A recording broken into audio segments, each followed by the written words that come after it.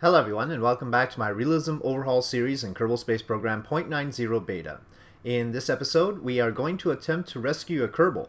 So here is Orson Kerman who is uh, going to be in orbit somewhere. We're going to have to check out where he's in orbit because that'll determine our launch site.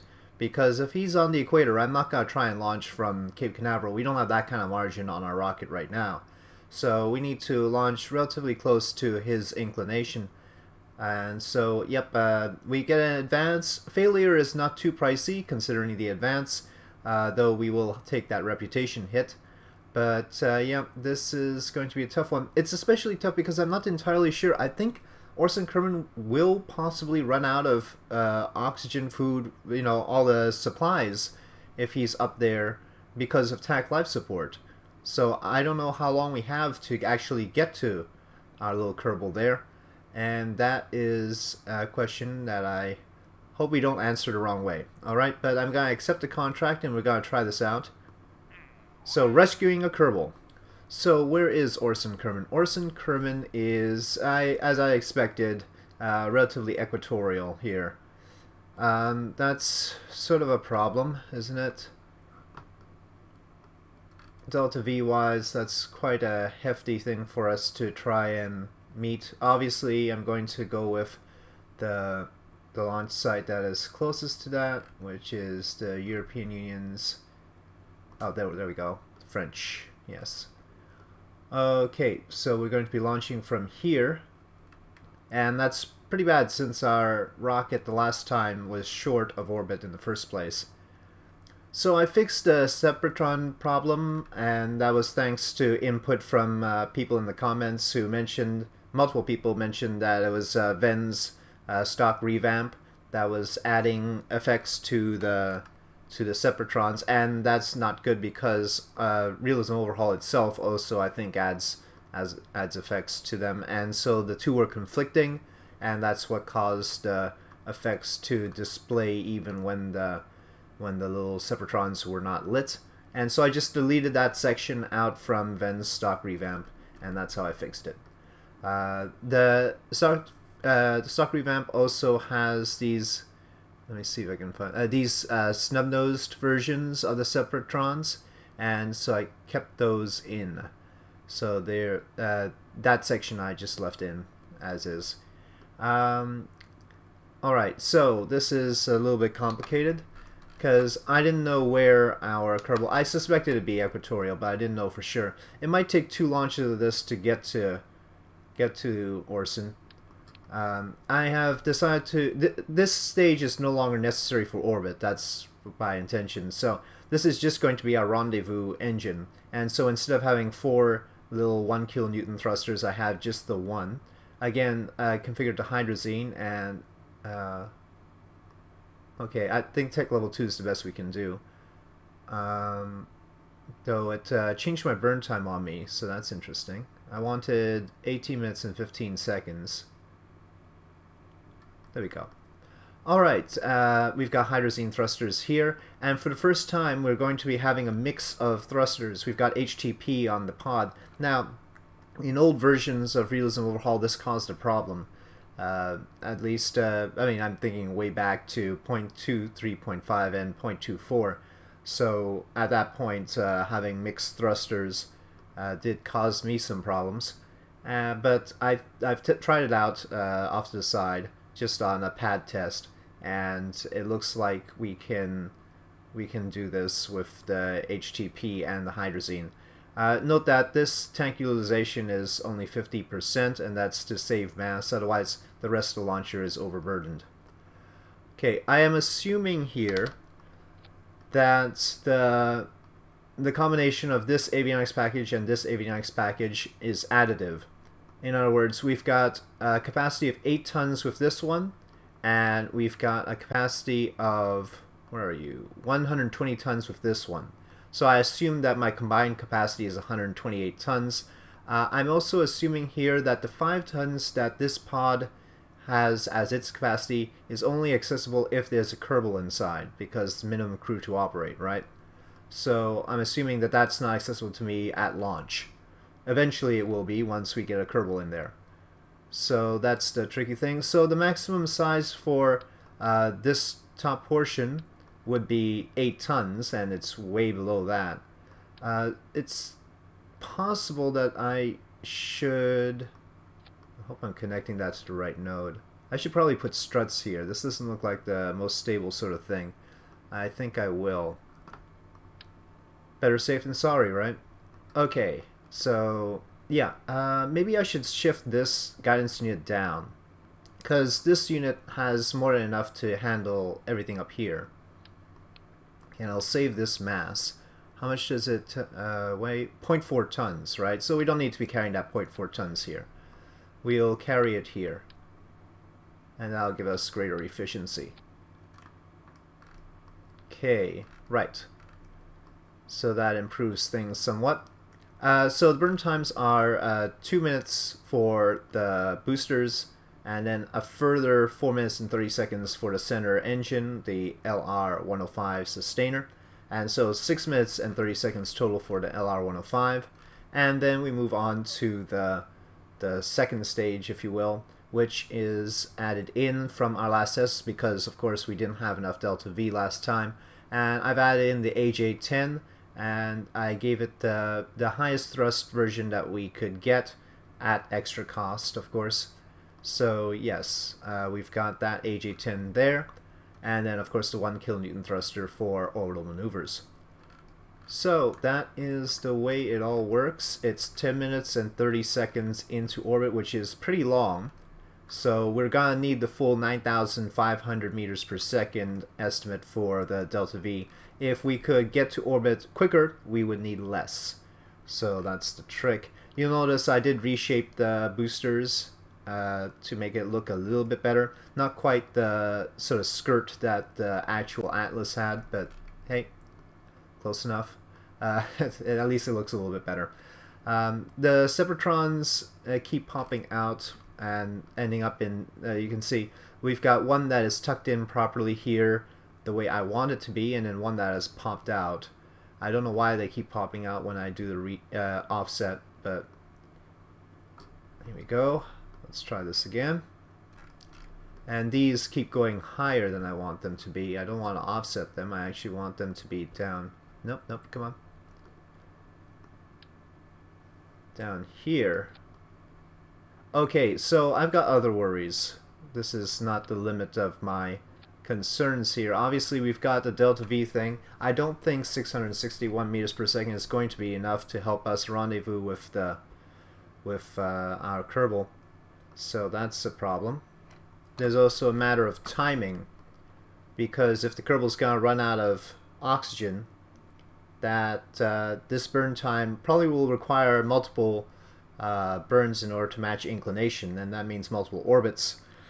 And that's not such a good thing if he's running out of oxygen. But we'll have to try it out like this, I think. I I don't know how much I can tweak it. Uh, we can add more engines, of course, but then that's going to cut down the delta V, which is our other problem, because we don't know if we have enough delta V to rendezvous. We do have a 128 ton limit on this rocket, and so there's uh, there isn't too much more I can do to make it larger and add delta V, um, especially since our burn times are already quite long. Alright, well, that's a thing. And then there's also the nose cones. I remember the nose cones blew up last time. So what do I do about that?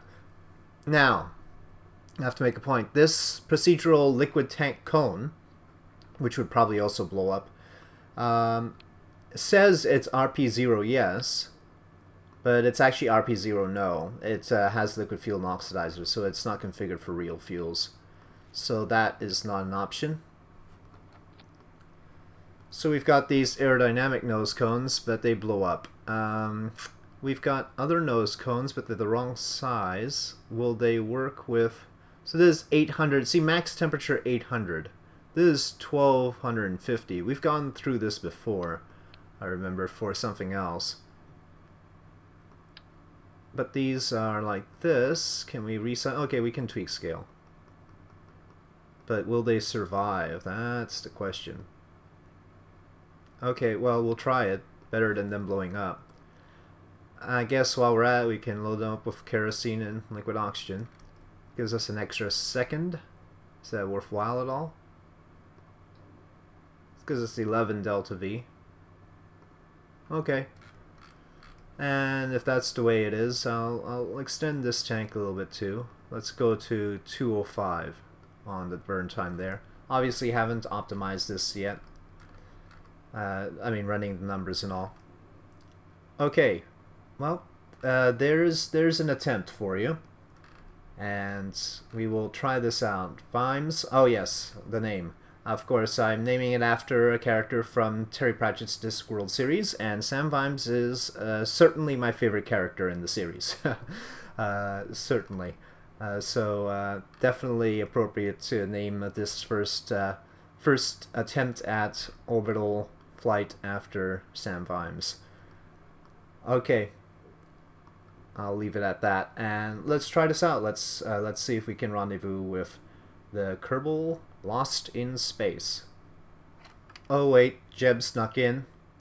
Uh, that's uh, hold on. Let's let's recover this. Okay, and while I'm here, I think I'm gonna slap an extra antenna on the top. Okay, there we go. And no Jeb. Alright, let's go. Okay, so here we are. SAS on, throttle up. Now for the for the Kerbal, if we are going to launch a Kerbal from the ground, we probably don't need this top avionics package. That's only there because we're we're going to be rendezvousing with a Kerbal. Alright, we don't have any way to replenish electric charge right now, but I think the pod has more than enough for this mission. Hopefully. Now, where is our Kerbal? There he is, set as target. 5.4, jeez. That's a lot. I don't think we're gonna be doing that very easily. Uh, let's let's wait until he's a little bit uh, closer overhead. Make the rendezvous a little bit easier. We don't have a whole lot of tracking stations to take advantage of here. Maybe actually waiting for the Pusan 3. That's pretty high altitude, isn't it? He's uh, he's a thousand kilometers up. That's another thing that's gonna be trouble. But yeah, I'm gonna wait until the Pusan 3 is over. Okay, this is a good configuration. Yep, I think this will help us with communication. Alright. So we're still all fueled up. Throttle up. SAS on. And... Yep, light and go. Go.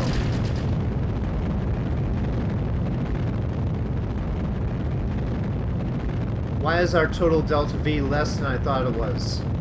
I said 10,000, right? Uh, yeah, 10,000.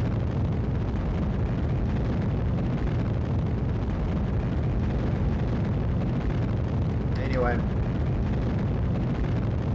Oh, right.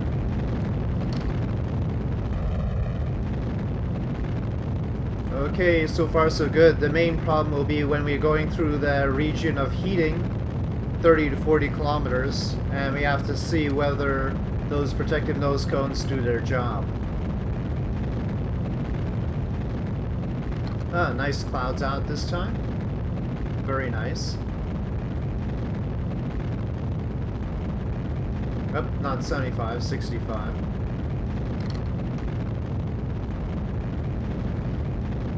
Now I recall setting the parachute for pressure, but I need to double check that. Uh, pre-deployment pressure 0.3 atmospheres, so we've got that going for us. So even if we can't get to the Kerbal, we can do a test with the pod to see if it can re-enter properly. Also a bit worried about whether the parachute at the top A will survive the heating and B will not rip this all apart and just bring me uh-oh oh those decouplers yeah and just bring me the avionics package. That's uh, issue. It's gotta stay attached to the pod. Okay, once again, it's not showing me the proper stage time, so let's see. I think, uh... Oh, it's the bottom tank, right.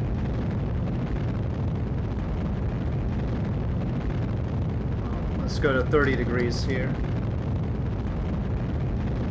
Actually, 32 would be better. Back. Ooh, ow, ooh. I forgot those Separatrons are a little bit too energetic. I'm gonna have to turn down the throttle on them. Okay, well anyway, we're, we didn't have any nose cone blow-ups, and so that's a good thing. Probably maybe 33 would be better right now, judging from where our prograde vector is. Maybe we can hold off doing the final burn until we like cross the equator or something. I don't think we're gonna get that far. But it'd be really handy if we could do some of the inclination adjustment with the third stage. With the not well, with the AJ10 stage, I'll say. With if we count this as the first stage, it's the second stage. Then again, uh, well, it'll depend on communication as well. But considering we're only going to be going at about 5,700, 5,600 meters per second on the surface velocity by the end of this stage, I don't think we're going to have that much opportunity. Speaking of which, I better pay attention to... We've got 2,000 on that stage, so we've got right now about 300 meters per second worth of ability to maintain a pitch. Problem is, we're not going to get high enough, I don't think. I didn't uh, expect a Kerbal to end up at such a high orbit. One good side of this launcher is that the g-forces don't really get that high. Maximum thrust weight ratio is about 4.2. Okay, that's that. Set. And ignite. Uh, always worried with the AJ-10 if it's gonna throw me off, but it's got a little bit of an issue with roll, but otherwise I think its gimbling will be fine. Let's go to 5 degrees.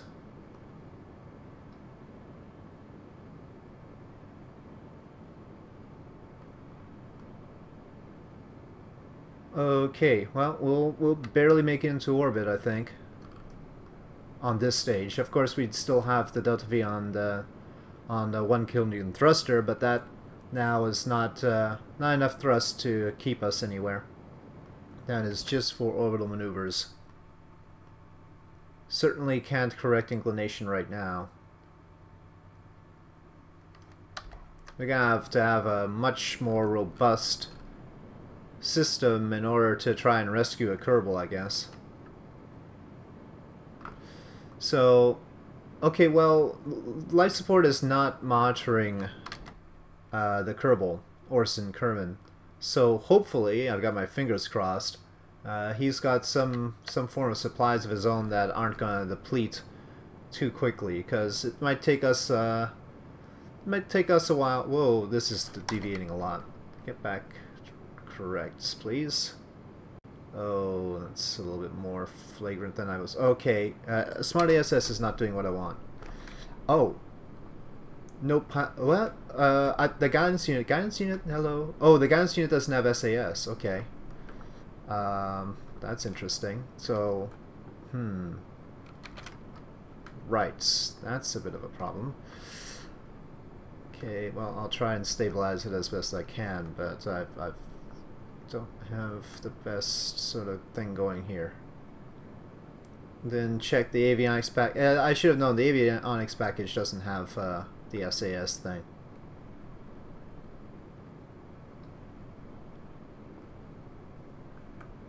So that's why Smart ASS also would have, I guess, obeyed that and not... Okay, I think we're, we're pretty much spin stabilized right now. Okay. I'll just leave it be for now.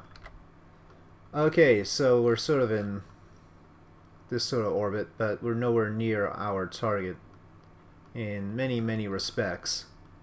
But at least we're in orbit. Uh, Periapsis barely there, so maybe the trick of moving the avionics package down. Not a not the avionics package, the guidance package down, the heavy one, was not such a good idea. But then keeping it up uh, at this stage would mean that this uh, might not have gotten into orbit. So, yeah. Alright, well anyway, this stage is expended. Let's just release it. Okay, RCS forward. Right. Throttle down. Okay, I'll plot for a possible intercept of our target and see how that looks, but I don't think it's going to be doable. Okay, so I've got a, a plot that gets us to 1.8 kilometers, and that costs 752 meters per second. So that's 100 off, but then that doesn't include the delta V we need to get closer to him, and then also the deorbit delta V. So we're missing two components. That said, the HTP currently in the capsule could be reserved for the, those purposes. We could shut off uh, RCS and then use that to deorbit. So it could be, let, let's say we need at least 200 delta V more than what we've got right now. Okay, it didn't uh, disable it because I don't have connection. That's fine. But I'm pretty sure we don't want to try and... Well, yeah, I don't think we can get close to our target like this. So let's do a re-entry test. So I'm going to go for 70 kilometers, which I think will bring us down safely. And there's uh, higher apoapsis than I normally would be coming down at, so it'll be an okay test.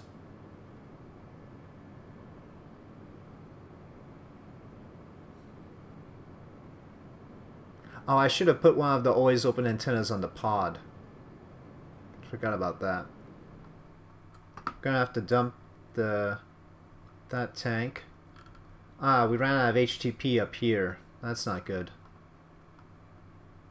But presumably everything will be a-okay there, orientation-wise. We'll see. That's that's a good test also. So if we do run out of HTP, will the pod orient properly? We will find out. Now, communication. We seem to be traveling with our satellites, so that's good.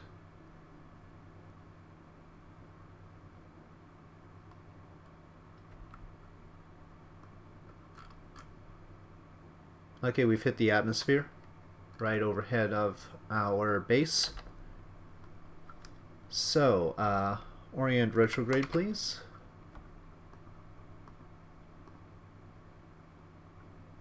I think we have to dump the service module now, but I'm going to... Uh-oh. Spinning out of control.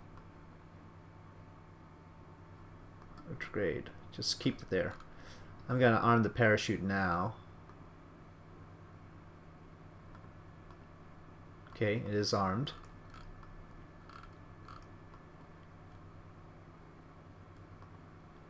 Alright, well the capsule's going to have to orient itself. We're going to lose this thing. Alright. Let's see if that works out. This is a very costly capsule. I think it's like 3,000 funds, so it's like 30% of the total cost of the vehicle. So, wouldn't be too bad getting it back. I thought the ablative shielding would start working at 600. Oh, now, now it's starting to deplete. Looks like 800 was the number. Temperatures above a thousand. Uh-oh. Uh, oh, the, the antenna, that's fine. That's expected, actually. Okay. The G-forces Rising Web 6. Now at 7. We don't need much ablative shielding. I really think the ablative shielding needs to needs to deplete faster than this. This is uh, this was underwhelming depletion of ablative shielding. Uh, used to be that melt away, and now we only lost about three units. Wow. Okay, so uh, possibly as high as 8 Gs? Let, let's just check. Uh, 7.6 Gs.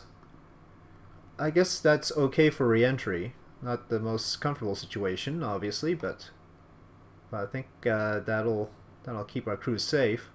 And of course, this was a higher apoapsis than usual. All right, now uh, automated deployment of parachutes, hopefully. But yeah, let's cut down on the ablative shielding. I think uh, we can get rid of like most of it. Um, we'll see, and that'll save mass. Maybe that'll help out. We'll see how much mass that saves. Okay, chute deployment. Excellent. Well, we definitely got heating.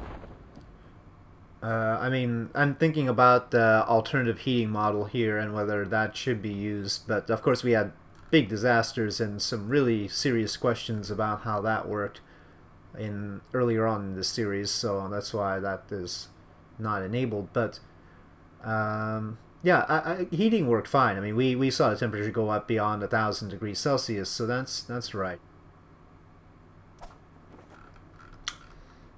No splash effect.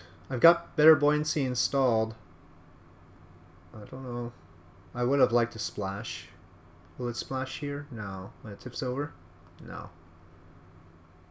Okay, we got a little bit of science, thanks to recovering the vehicle.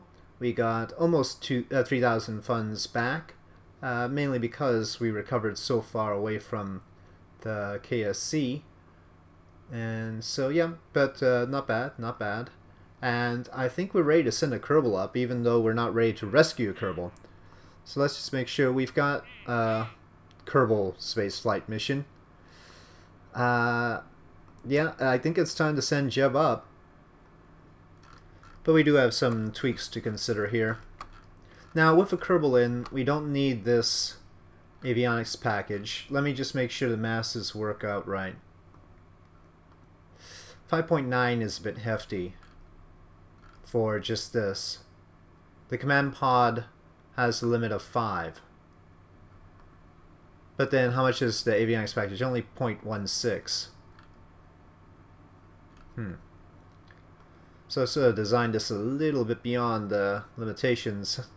But uh, let, let's see, getting rid of uh, of shielding. Let's say we cut that down to, well it doesn't weigh that, well it weighs a little bit. Let's see, how much does it weigh? 0.3 tons about? Let's say we need, let's say 120 is more than enough. Actually, well, it is Jeb. I don't want to kill Jeb. Let's let's keep it to. There we go. Let's leave it there. Um. All right. We don't need as much. Oh. Uh. Yeah. Maybe we should move this up. But yeah, we really don't need as much in terms of this module. Let's reduce the size of it in numerous dimensions. Okay, but that still has us above 5 tons. Well, let's get rid of this guidance module. So now we're like that. Don't really want this antenna, we really want uh, the always active antennae. Okay. 5.4 tons though. So uh, this will be Vimes 2. We'll have to come up with some better way to go about things. And uh, I guess Telemon 4, since I've got to now adjust this stage. Got a lot of Delta V. That is good. Oh, uh, 128 is now too much. Right, because we got 5 tons here and 125 ton capacity there, so we can't go 128. So we're going to have to shorten these up now. Alright, 125, right on the nose. I haven't actually tried bringing out a vessel that is flagrantly above the limitations. I wonder what would happen in that case, I'm not too sure. But uh, we'll go with this. And this will be the craft. Oh, yes, we wanted to tweak down the separation motors. I hope we can do this in Realism Overhaul. Of course, in general, you can't tweak the thrust on things. I had the darndest time trying to hit 50 on these. Just doesn't like going to 50. So I end up going to 49. Okay, so double check that all of them are the same, otherwise we have a disaster on our hands. Of course, they've displaced the Sepratrons again. Away from where I want them to be, but we'll keep it that way. Okay. Alright, here we go. Kerbal Spaceflight. Jebediah Kerbin. Ah. Uh, Alright, here we go. We're just gonna stick to this launch site in French Guiana for now since we still have that Kerbal to rescue and uh, I think that's something we need to focus on. And also, since we tested it from this location and judged our numbers from this location, I think we should continue like this. So throttle up, SAS is on. And we're about to go for Jeb's first flight. Is it really that mountain there? I mean hill. Okay, um, yeah, communication is not so much of an issue since we do have local control through Jeb. Poor Orson Kerman. Well, that will be a priority for us. But here we go. Let me make sure I don't accidentally roll this the wrong way. And ready, Jeb? They're shielding a little bit low, but we tried it out and that seemed to work out. Alright.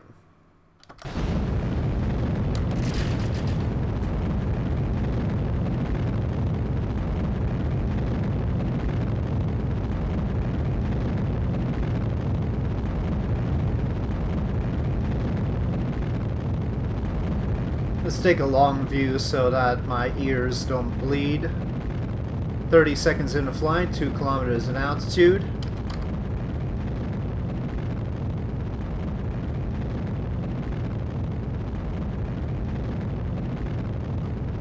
Trajectory nominal, all systems look nominal, even the Delta V is reading properly right now.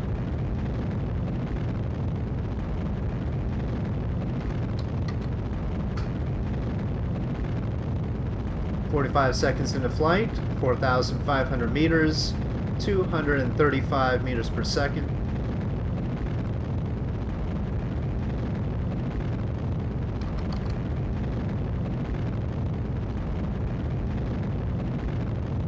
We're approaching the speed of sound.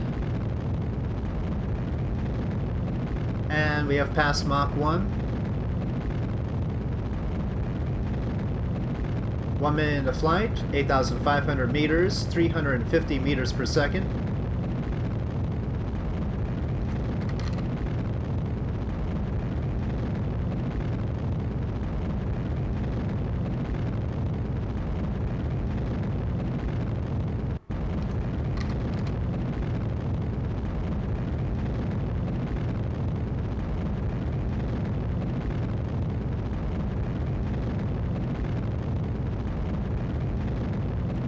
Should be past max Q now. Let's just verify. Yes, we are.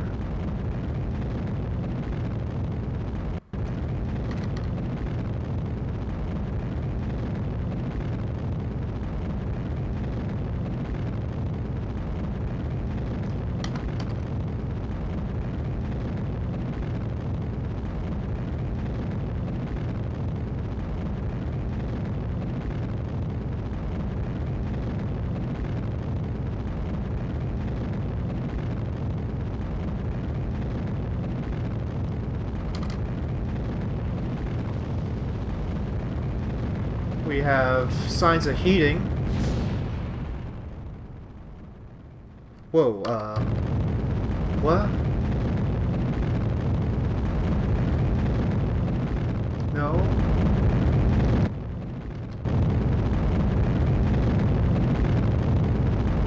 What the heck? Hey, wait a second. Command pod Mark 1 burned up from overheating? No. No, no, no, no, no, no, no. No. No, it couldn't have. No. I deny this. This is not possible. No!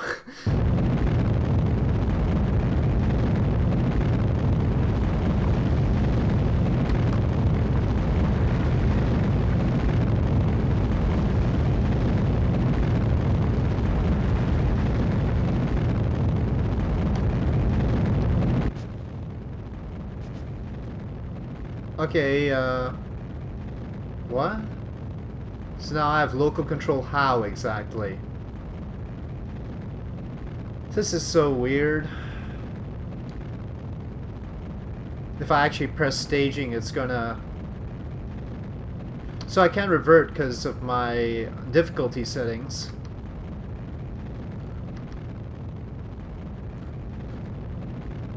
Presume, I mean, obviously I've got the guidance unit, but I don't have a... This is all messed up.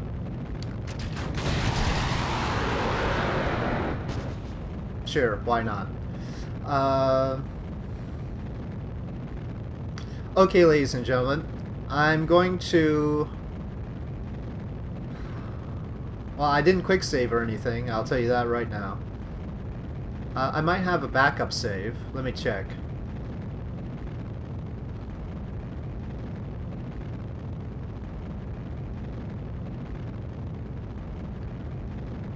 My last backup was March 13th. I... I don't know.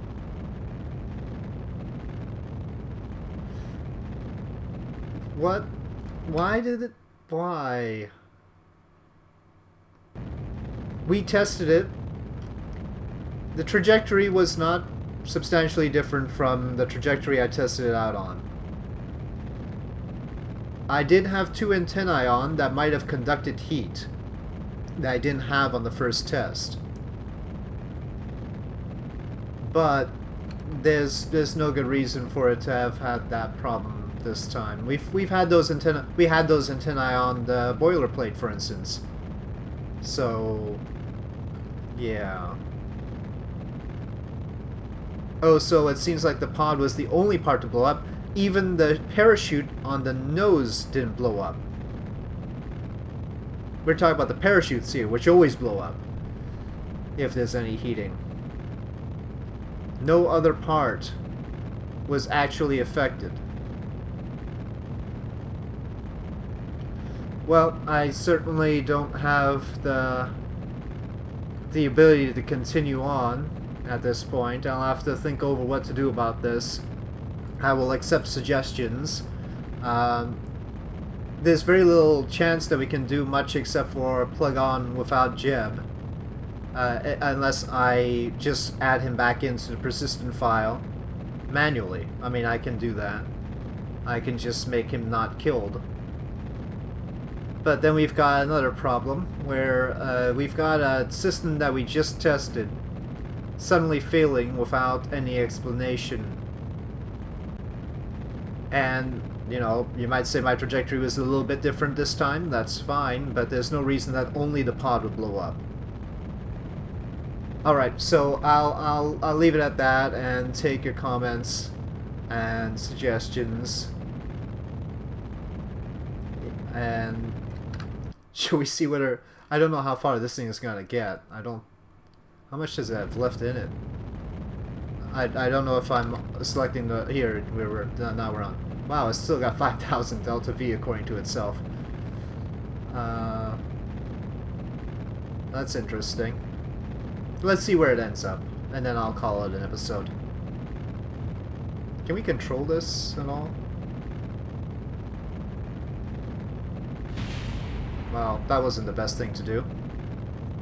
Yeah, we can control it. That's weird. Uh, let's Oh, that wasn't right. Uh, no, no. Prograde, prograde.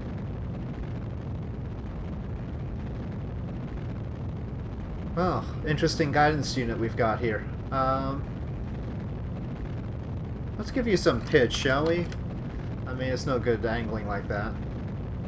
You've got quite a... Give me... Okay. We can do that, apparently. We're not supposed to be able to control this right now, right?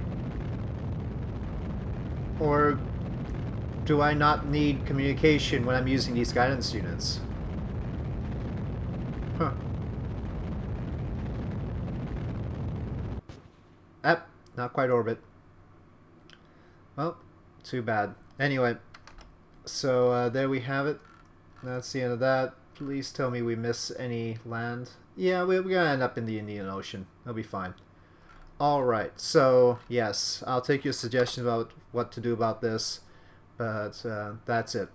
So thank you for watching. If you enjoyed this episode, such as it is, uh, please do press like. If you have any comments suggestions, please leave them in the comment section below. And I'll see you next time.